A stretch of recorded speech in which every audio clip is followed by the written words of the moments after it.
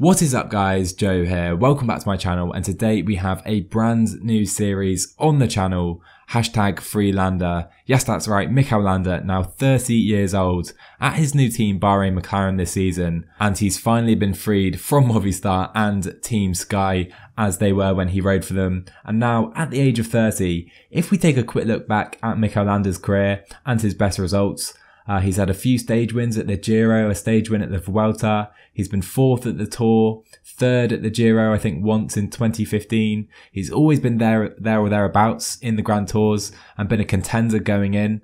Uh, but he's never quite delivered in the GC. And the biggest stage race he has won in his career is the Vuelta a Burgos. And I think that shows just how much of an underperformance it has been so far by Landa, and perhaps he's been unlucky as well on quite a few occasions. Um, obviously, he's not the strongest time trialist. It is his big weakness in the GC, uh, but climbing and going up mountains, he's one of the strongest riders in cycling, undoubtedly. And so this series is all about trying to win Landa his first Grand Tour and try and win some races in general, to be honest. Um, he's only got maybe five more years max at the peak of cycling. He'll be 35 in five years time, of course. So I think he will probably be on the decline by then. Uh, so maybe we've got five years to try and win a Grand Tour, try and win the Tour de France with Landa. So taking a look at the calendar, I have set up Mikel Landa's race schedule for the season. We start our season in the Vuelta Algarve in Portugal, nice little stage race to get us underway, and then we go straight into Paris-Nice at the beginning of March. And this is a big target because if we can win the GC of Paris-Nice with Landa, it will be the biggest GC win of his career. So all of these races are important for us. Uh, moving forward, we've got this race in Spain. Then we have the Ardennes Classics. Um, moving on, we've got a little rest before the Dauphiné, of course, in the build up to the Tour de France, which is our big, big target for the season. I've kind of based this calendar on Mikel Landa's uh, real life program, I think. Um, but yeah, obviously we're going to target the Tour de France, see what we can do there. Um, and that will give us a real indication as to uh, where we are and if we're still at the top of, of uh, GC racing really in the Grand Tours. Um, I do have the Vuelta set up and a few more races uh, to end the season, uh, but this is all subject to change, I think. Our real target for the season is the Tour de France. So you can see here in season objectives, I have set Paris-Nice as our early season objective. Like I've said already, that'll be a big win if we can win that race. Then the Tour de France um, in July. And of course, Il Lombardia, um, I've just set that up. I'm not sure uh, if we'll be racing that. I'm planning to, but um, yeah, we'll see closer to the time. So looking at our new squad, of course, Mikel Landa does join a new team this season in Bahrain McLaren, replacing Vincenzo Nibali as their main kind of GC threat, the revamped team as well. Some beautiful new jerseys, it must be said. And we are definitely the leader of the team.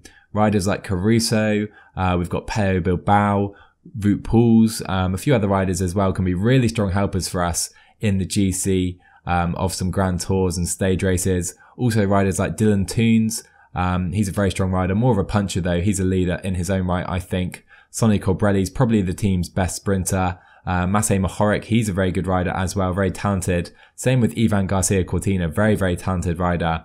Um, obviously, we can't see all of their attributes just yet. Uh, it's just the World DB I'm using though, so um, all their attributes will be very similar um, to the World DB. And a quick note, I have set up the contracts to uh, the real life contract. So we are contracted uh, to Bahrain McLaren till the end of 2021, as you can see.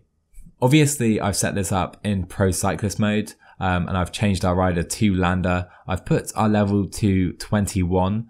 I'm not sure if this is going to be accurate or not. I think the max level is 25 or 26, something like that. Uh, and that does mean we've only got four or five upgrades, which means we can only get four or five skill points. Um, to be honest, I'm not sure if I'm going to use these skill points. I think some of them are slightly overpowered, to be honest. Uh, let me know down in the comments if I should uh, if I should use these skill points um, and what I should use them on, basically. So yeah, guys, I hope you're looking forward to this series just as much as I am. I cannot wait to get started with this.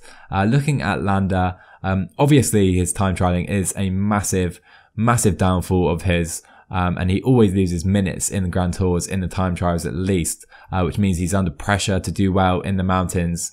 Um, so it is going to be tough for us to win a Grand Tour with such poor time trialing. We're going to do our best though. And if not, you know, winning races like Paris-Nice, Tirreno Adriatico, the Dauphiné, they're all going to be massive results if we can deliver them with Landa. But anyhow, guys, I'm going to wrap up this quick introductory episode right here. I hope you're looking forward to this just like I am. I cannot wait, honestly, to start this series and try and win some races with Mikel Landa. Um, worth noting, I am going to play this on times 1.09. Um, and if you don't know, that's kind of above the standard extreme, um, which is going to make things very, very difficult for us. Uh, but that'll make it only more satisfying if we can deliver with Mikel Landa. And also worth noting, if you guys want a tutorial on how to set up a real rider as your pro cyclist, let me know down in the comments. I think I might make that for you very soon. But anyhow, guys, if you enjoyed this introductory episode and are looking forward to the series, drop a like down below, tell me what you thought down in the comments, and I'll see you guys in the next one.